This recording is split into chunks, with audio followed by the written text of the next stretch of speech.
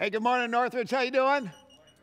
All right, you guys like uh, feeling full still, or have we? Uh, did, did, did what happened on Thanksgiving get corresponded by equal restraint the next day? Yeah, no, it didn't. Yeah, no, me neither. Um, oh man, I'm glad you're here today because I got one goal. My one goal today is that you wouldn't be done giving thanks. My, my one goal today is that um, the, uh, the, the week of Thanksgiving isn't the one week a year where we really practice gratitude in some kind of intentional way. That, uh, that we're going to launch out into about another, another 51 weeks until we do it again. And, uh, and so that's what this is about. So the other day, I was, uh, I was looking for some email, and so I thought I would check my spam filter. I don't know if anybody's ever done that because it was supposed to be somewhere. And, uh, and so I'm looking through my spam and looking at the subject lines, and I thought to myself, Boy, why do they filter this stuff out? All these people have such great plans for my life. I mean, there's, I mean, there's somebody out there that wants to turn my body into a fat burning machine. I mean, what could be better than that, right? You know, bacon and whipped cream, bring it on. Um, you know, other people want to, to, re, to give me more life insurance and they want me to, to remove my, relieve my back pain, remove my skin tags. I don't know what they are. Um, it's like, like a price tag someplace I wasn't aware of. I don't know. Um, you know, and they want to lower my blood pressure. They want to warn me of the dangers of yellow fingernails. Who knew? Actually, I got done reading it. I was very grateful for my spam filter. Because, you know, life is a lot like that. Uh, it's like that spam filter because there's so much that comes down. Somehow you got to filter things out or you're going to miss important things. And, uh, and I'm glad I got a spam filter that does that with my email. But every one of us, I believe, needs a filter on our life. Otherwise, we are going to miss some things that matter. And that filter is gratitude to God. Know, last week we talked about the fact that gratitude isn't just about gratitude for gratitude's sake. Gratitude isn't about the, just the, the, you know, the way it makes us feel or the, you know, the, the, the way it lowers our blood pressure and you know, all that other stuff. That, that's great. Those are wonderful byproducts, but the purpose of gratitude is relationship. And primarily our relationship with God. And uh, and, and it this filter needs to be on at all times. The antenna needs to be up 52 weeks a year, not just one week a year at Thanksgiving. Um, you know, gratitude is the activity of the heart that bolsters our faith in the things that we do not understand uh, I don't know, anybody have a few of those things going on in your life right now where you say, I don't understand what's going on. I, I don't know what to do with it. I know I do. And, and, and, you know, and you're in that moment of waiting. And, and, and, gratitude is the thing that, that helps us to continue to see God's work in our life and in the disappointments and in the pain because it's the thing that causes us to look for the thread of God's work weaving through our whole lives. And gratitude causes us to look to God and exercise faith because faith and gratitude go together. Faith is first, but gratitude feeds faith.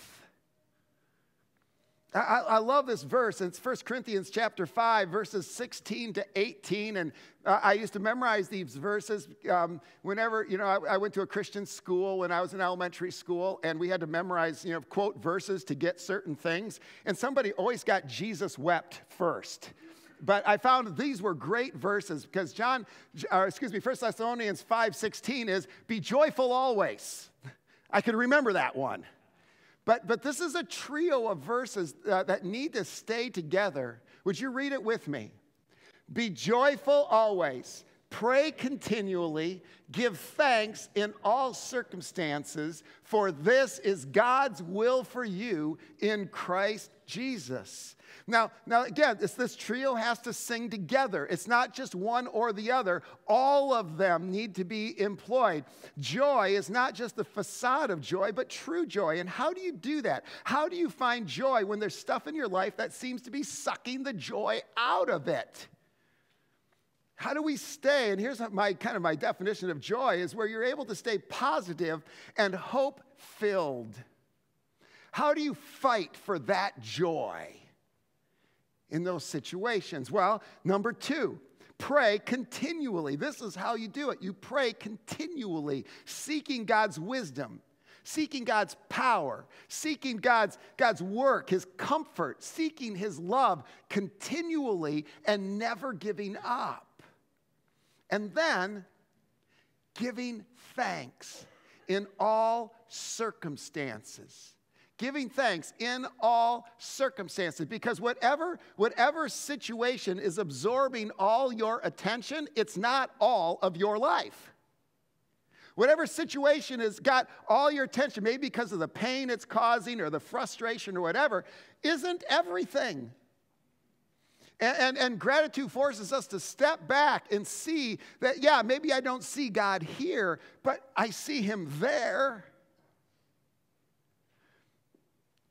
I, the other day, Terry and I were, a couple, a few, well, I guess it was a couple years ago now, but we were driving in the car, and all of a sudden she goes, Oh, wow, look at that rainbow. And, and I'm driving, I'm going, Where? Where? And, and she's, she points, There, right there. Can't you see it? And I, know, and uh, whoops, you know, I guess I can see a little something.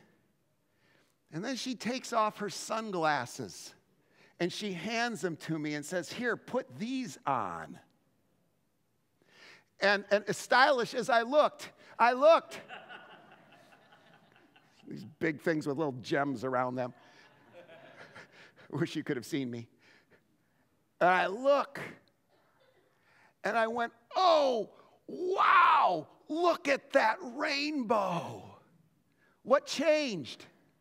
Did the rainbow suddenly appear? No. I suddenly had the right filter on to see it. That's what changed. The rainbow was real, right? The rainbow didn't suddenly, you know, wasn't just, oh, wow, now that I have, grain, have glasses on, the rainbow appeared. No. The rainbow was there. And I want to tell you, God's blessings are there. But if you don't have the filter of gratitude on, you won't see them. And when we see, because they are there and they are real and they aren't just made up. I know that's the lie of the devil and that's the lie of the world that will tell you, well, that's, you're just, you know, you just have rose colored glasses. Well, you know, if rose colored glasses help you see reality, then get them on. I don't know, it just makes sense to me. You know, pessimism, people who are pessimists think, well, I'm just being a realist. No, you're not. Optimists are just as much realists as pessimists are. Pessimists are just arrogant about it. That's all. Anyway, whew, glad to get that off my chest. Um, where am I in this sermon? Okay, so, but God is working in all circumstances. Gratitude, gratitude to God keeps our perspective while we are waiting in one area of life so we can see His hand in the rest of our lives. Gratitude is the conscious decision of faith. Of faith. Now, I want to just review last week, because last week we were talking about the, the, the fact that it matters to whom you are grateful. And uh, I just want to review a few ideas from that, from that sermon. The first is this is that gratitude sees that God is good and the source of all good. God is good and he is the source of all good.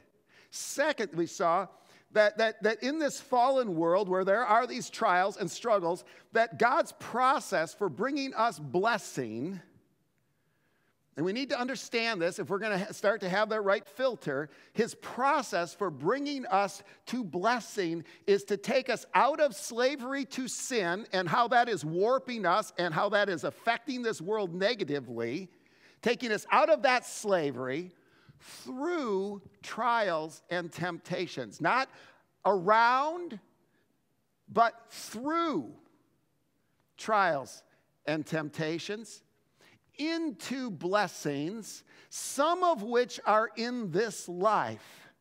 Some of which are in this life. But you know, it's not that, that, you know, that life is too short, it's that you're dead for so long, right? And so that is the blessings of eternity that He has in mind. Those are of great value to God because that's where He's going to be with you the longest time. Are you with me, church? So there are blessings there that God has out of slavery to sin through the trials into blessing and gratitude in this whole process protects our relationship with God in Christ. Now, not from God's side of the equation, but from our side of the equation. We are saved and held in our salvation by the hand of God. He's got us with two hands, Jesus says. That's what's held. But from our side of the situation, gratitude is protection. It gives us perspective on our circumstances. It gives us perseverance in our trials. It protects us from writing false narratives about what is happening to us. Narratives that we write that we, where we start to believe that God is against us because of the fallenness of this world. And it gives us the perception of his providence. And here's the key in all of this is to see all of creation. As we go into this next year, that we would see all of creation as an expression of God's goodness, and that we would receive everything that God has for us, everything that comes to us this year in this world, that we would receive it with thanksgiving to Him. And, and today, I just want to say, okay, okay, everybody get uncomfortable right now because this is going to be a, you know, shake it up, get ready, get out of just listening mode because I'm only going to talk for a few more minutes and then I'm going to be asking you to do some stuff. All right? Because here's the deal I want us to actually lean into gratitude and express it to God. So if you would do me a favor, if everybody would take out the tear off, and I'll tell you right now, there's not enough room here to do what I'm going to ask you to do. And I want to ask the ushers to come if they're ready. And, uh, oops, they're not ready. Hurry up, guys. All right, because here's the deal they are going to give you. If you do not have something to write with, I want everybody to have something to write with. All right? And uh, because we're going to do a gratitude cheat sheet. If you need something to write with, they got a pencil here for you. We're going to do a gratitude cheat sheet. I, I, take this from one of my science professors in college, said, um, you can have a three by five card cheat sheet with you for the test. It was one of the best learning devices that he could have ever given us. He said, anything you can write on that card, you can have with you to help you take this test, any formula or whatever. And I tell you what, I learned more making that card than I did for any other studying I ever did because it, it just made me focus and ask questions about, well, what's really important? And, and oh man, I just learned a lot from that. And, and I decided, you know what, I'm not going to write that formula down. I can remember that one. I got to write down this one, you know, and, and it, was, it was great. So, and here's the deal you are going to be taking a gratitude test this week. Did you know that? You are going to be taking a gratitude test this week. And this is your cheat sheet. This week, we are not going to put these in, in the in the offering plate like we normally do, and you know that, that, way, that we pray for us. This, you're going to fill this out, and I want you to keep it in your pocket. I don't care if it gets washed. It's uh, well, I, uh, maybe you do, but I don't, um, because I want you to have it in your pocket or in your purse or or someplace where where you look at it and you have your gratitude cheat sheet to help keep you focused. And if you're online today I want to ask you to get pencil and paper right now, and I want to ask you to participate with us right now as we do this.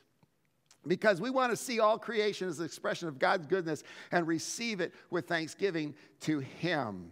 And the verse I want to use to focus us is this verse right here. It's, it's found in 1 Timothy chapter 4, verse 4. And would you read it with me? It says, for everything God created is good, and nothing is to be rejected if it is received with thanksgiving.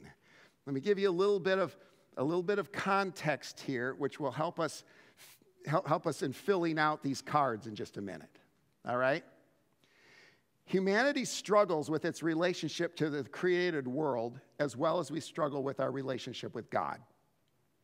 And, and we move in our relationship with all the stuff, with the material things, the relationships, everything that God gives us in this world. We struggle. We move kind of back and forth between moments of self denial and of self indulgence. And we, and we, are constantly going back and forth. Moments of anorexia and moments of, you know, of gluttony of you know, moments of being legalists and moments of being libertines where we have no rules and no, no form or, or structure. We just do whatever we want. And, and both of those are destructive. Now, we happen to be in a time of the self indulgence. That's kind of our culture right now. But that's not always true. The, the, the, pendulum is always going back and forth because so, overindulgence causes pain, and so then we tend to go over here, right? And, and so, and then that causes pain when we're over here, and then we go over there. And, and that's because we don't have well, we don't have gratitude. We don't have a focus on God to get us in the right relationship. And that's kind of what this whole passage is about. And, and what was happening now is they were in a moments where, where it was the self denial phase of, of culture, where they're responding to overindulgence. People were going the opposite direction. And Paul says that false teachers, people who have doctrines of demons, he calls it, um, are, are, are hypocritical liars, he calls them, are coming into the church and they're preaching, hey, you know, it's a fallen world. It's an evil world. And everything in this world is evil, and all the material blessings of this world are evil.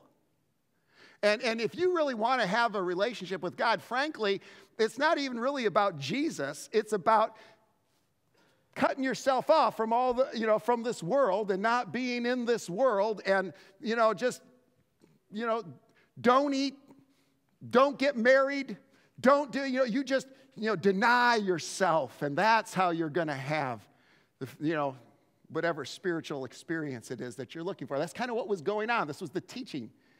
Um, now, now, that doesn't seem appealing to us because we're in the overindulgent phase and we go, oh, no, we would never do that. Oh, yes, we would. But that's another question. Um, but, but that's the deal.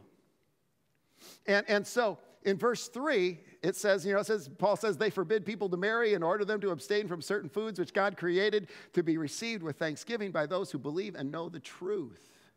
And what is the truth? It's that God has reconciled us to himself through Christ. And that, that, that, that, that has not only changed our relationship with God, but it has changed our relationship with creation, such that now we understand that the source of our life, the source of our health, the source of our peace, the source of our contentment is our relationship with God. And that all these things in this world, whether it's food, which is material stuff, or whether it's marriage, which is relational blessings that God has for us, are all ours to have resource, they're resources that God gives us. And we're to receive those as, as, as, a, as a gift from Him with thanksgiving, you know, and, and so that everything we created is good. Nothing is rejected if it's received with thanksgiving. Why? Verse 5 because it is consecrated by the word of God and prayer. Why? Because all these things, the material blessings that he has, the relational blessings that he has, are all consecrated, are all focused on him because of our relationship with Christ. And we take everything that God gives us, and through the direction of the Word of God and through prayer, we offer it back to him and we say, God, show me how to use this blessing. Show me how to use this. Show me how to be married. Show me how to, to use the, the, the material goods that you've given me in a way that's going to be the greatest blessing. Thank you for what you've given me. Now show me how to use it. in short, we thank God for what He has given and for teaching us how to do it. And, but, but here at the, at, the, at the core of all of this that Paul is saying, it starts with gratitude to God for what He has made and what He has given us. So, for the balance of our time, we are going to have a gratitude workshop. All right? Now, you cannot write everything that you want to write on this little piece of paper, but that's not the point. Maybe you can go home and get a, a, notebook and fill that. But right now, it might be just write a word that reminds you. Something that would prompt you that you read it and you go, oh, yes, I know, I remember. All right? And, and here's what we're going to do. So we're going to pray a little prayer, and then we're going to spend some time reflecting and create this gratitude cheat sheet on three areas. We're going to talk about the material blessings of God. We're going to acknowledge him for his material blessing of us. We're going to acknowledge him for his relational blessings, the relationships that he has given us, and we are going to acknowledge him for the spiritual blessings that he has given us in Christ. All right? So that's what we're going to do. In the balance of our time, we're going to do some stuff in writing, and then we're going to have an open mic, and we're going to share some things. And uh, so, right now, I want us to pray a little prayer to get us started, and then I'm going to talk us through this. Would you pray this with me? God our Father, open our eyes to the overflowing bounty of your blessings of this world in Christ. Father, do that. Really.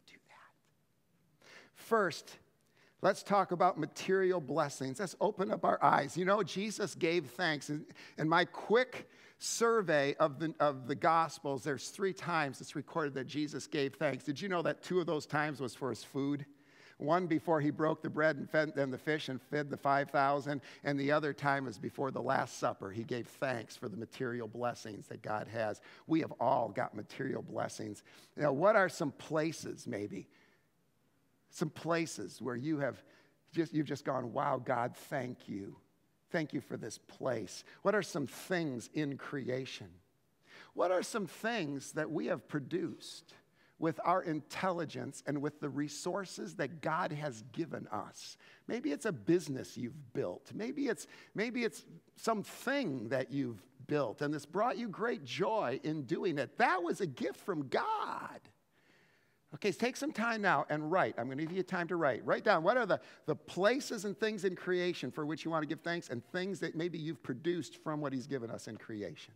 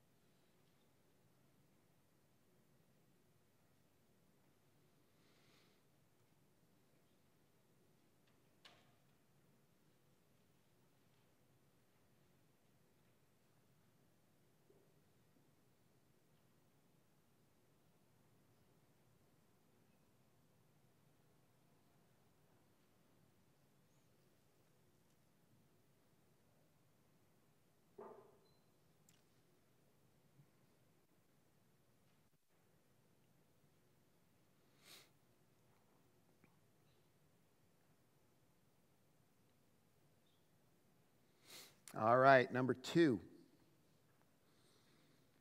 What are the relational blessings for which you are thankful?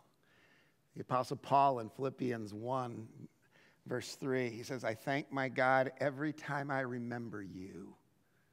Who are those people that God has put in your life that when you think about them, you thank God for them?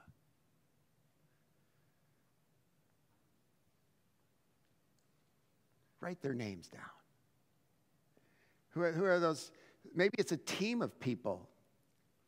And you're, you're accomplishing something together that, that, that you think is important.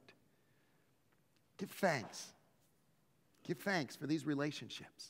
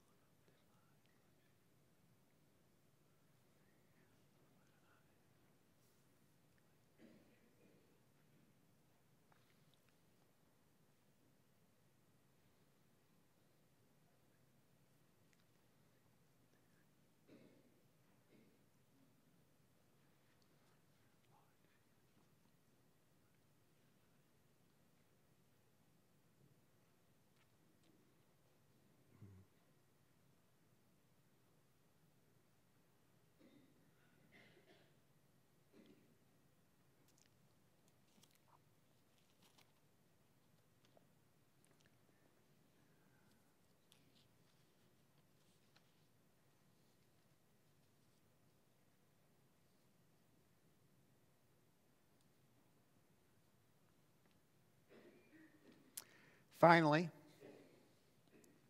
I, I, want to, I us to take a moment and thank God for the spiritual blessings that we have in Christ. And to help us think about that, I want to read a passage of Scripture to you. The passage is Ephesians chapter 1, all right? Now, I've, I've distilled about six items out of this passage that I'm going to read to you. Sean, if you could throw those up on the screen right now. Reading from Ephesians chapter 1, I am going to just kind of read through, and I want you to just kind of listen for each of these as we go through. And then maybe whatever else God prompts you of the blessings that you have received through Christ. And we're going to give thanks to God for those spiritual blessings. But why don't you listen as I read Ephesians chapter 1. Praise be to the God and Father of our Lord Jesus Christ, who has blessed us in the heavenly realms with every spiritual blessing in Christ. For he chose us in him before the creation of the world to be holy and blameless in his sight. In love, he predestined us to be adopted as his sons through Jesus Christ in accordance with his pleasure and will, to the praise of his glorious grace, which he has freely given us in the one he loves. In him, we have redemption through his blood, the forgiveness of sins in accordance with the riches of God's grace that he lavished on us with all wisdom and understanding. And he made known to us the mystery of his will according to his good pleasure, which he purposed in Christ to be put into effect when the times have reached their fulfillment, to bring all things in heaven and on earth together under one head even Christ. In him we also were chosen, having been predestined according to the plan of him who works out everything in conformity to the purpose of his will, in order that we who were the first to hope in Christ might be for the praise of his glory. And you also were included in Christ when you heard the word of truth, the gospel of your salvation, and having believed, you were marked in him with a seal, the promised Holy Spirit, who is a deposit guaranteeing our inheritance until the redemption of those who are God's possession to the praise of his glory. Take a moment right now and for, for which of these blessings, maybe in particular, or maybe some other thing that, that the Holy Spirit brings to your mind, what, for what do you give thanks in Christ today? What spiritual blessings are yours?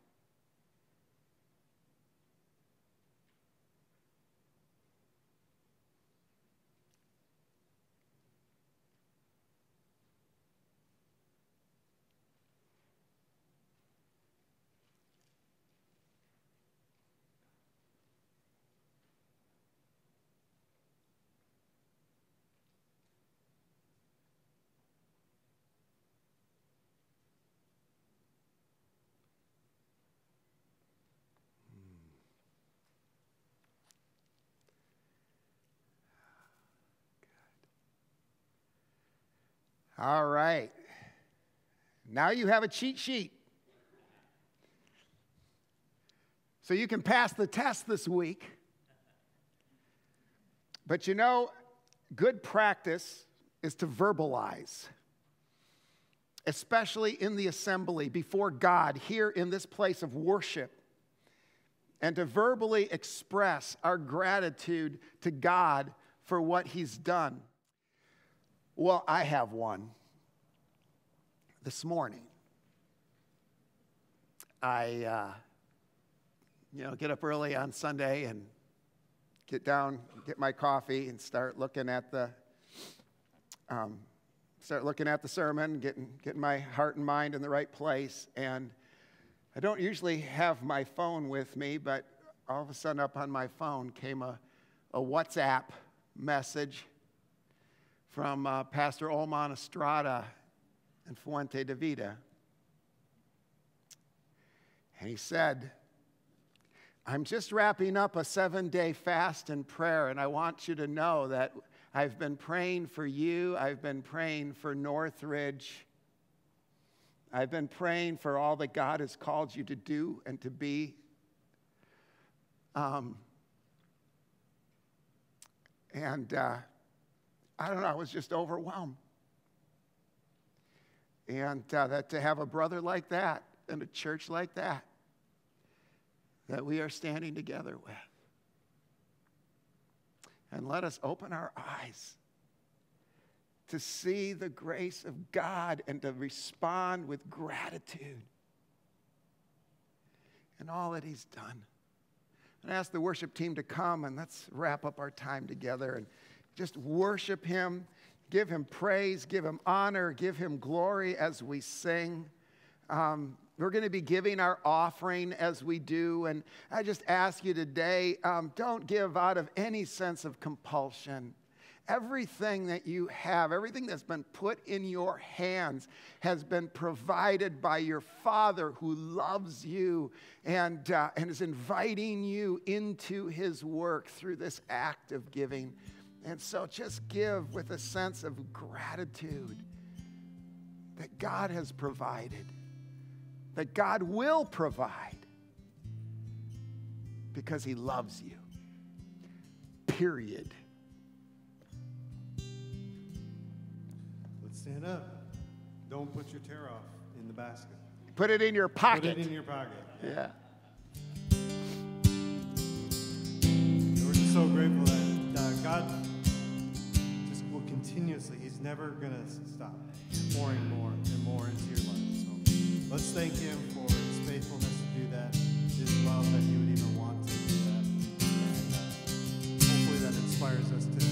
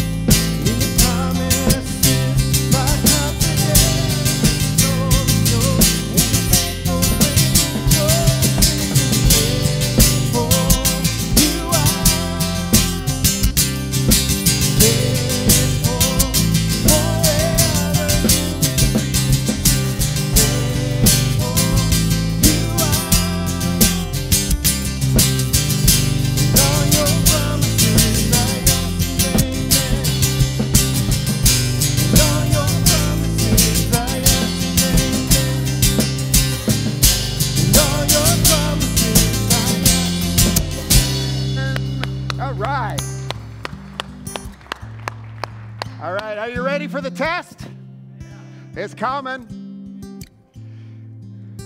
And so may the God who gives you endurance and encouragement give you a spirit of unity among yourselves as you follow Christ Jesus, so that with one heart and one mouth you declare the praises of the God and Father of our Lord Jesus Christ. Amen? Amen. You have a great week.